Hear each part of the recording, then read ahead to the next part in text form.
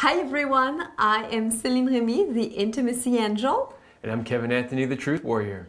And today's video, we are going to talk to you about five mistakes that couples are doing while traveling. But before we get started, if you are looking forward to being able to travel again at some point in the future, make sure that you hit subscribe and make sure you hit the little bell so you get notifications when we release new videos. Oh, and like today's video also.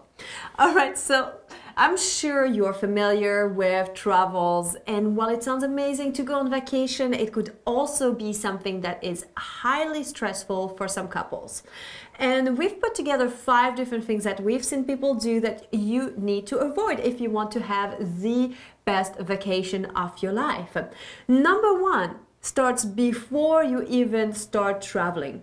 You know, when you're like getting ready to go on vacation and you're trying to get everything done, like feed the cat and to finish the to do list and make sure all the plants have enough water and pack, and you know, the list goes on and on, and you're becoming so stressed that basically you are starting to get on each other's nerves even before the vacation has started. Yeah, this is a common mistake. Why start your vacation off on the wrong foot? I see so many people do this.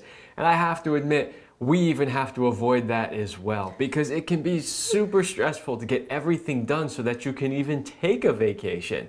So it's really important not to let that happen. Take some deep breaths, slow down a little bit, maybe start preparing a little bit earlier so you're not in such a rush. And, you know, take a, a few minutes to laugh at each other. When you're starting to see that the tension is really starting to rise, just make fun of each other or find a way to just get the tension. Give down. each other oral sex. That always works for us. That's a good solution.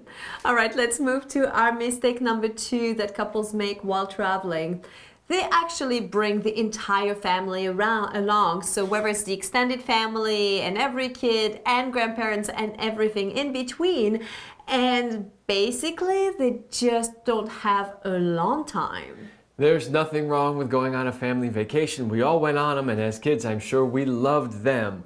Great idea. And see if you can find time, even if it's a shorter vacation, smaller vacation, to take some alone vacation time with just the two of you. Mm-hmm. It's time to hire those grandparents to come over and take care of the kids so that you guys can have some good time together.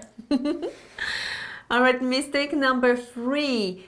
Couples tend to overschedule things. You know, he wants to see this attraction, she wants to do this, and they want to do this, and then there's this restaurant over there they want to try, and basically the vacation is now starting to look like just regular life with tons of things to do. Think in terms of National Lampoon's European Vacation. If you're as old as I am, you know what movie I'm talking about, where they have every second of every day of their entire European tour scheduled to the second right? Don't do that.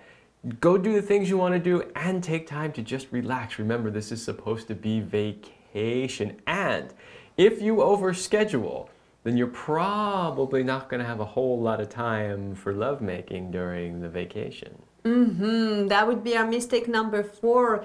They don't prioritize lovemaking. I mean, let's face it, it's already hard enough to stay intimate during like regular life. Vacations are designed for sex, for lovemaking. I mean, when we go on vacation, we're always thinking like, ooh, where can we have sex that we haven't yet tried? I know that's one of the things I'm looking forward to the most because we are so busy on a regular basis that yes, we make time to have sex, but when you think about it, okay, you know, maybe we average two, three times a week. Mm -hmm. Maybe you average a little more, a little less, but vacation is like you can do it anytime you want, as many times as you want. You don't even really have to worry about cleaning up that much because it's not your house. well, and the beautiful thing too about vacations and traveling is that usually you are outside of your comfort zone, which will help you feel more turned on and excited because of the newness of things. And oftentimes you feel less stressed. When you are less stressed, you feel more horny. More horny, you want to have more sex. So use this traveling time to help you bring the passion back between the sheets. It's really important. And our mistake number five is they do not give each other enough space or a long time. Just because you are traveling as a couple doesn't mean you have to do everything together. If there is something in particular that you want to do that does not interest him or her, be okay with that or give each other space to just read a good book at the beach or take a walk by yourself or not fill it all up with a lot of talking and and stuff and busyness because having some distance a little bit will help you come closer together and it will help you desire and want each other more. Yeah, so don't be afraid to go to the gym or go down to the pool by yourself for a little while. If you do have the kids with you, how about one person takes the kids for a little while and then you switch? Mm-hmm. Yeah.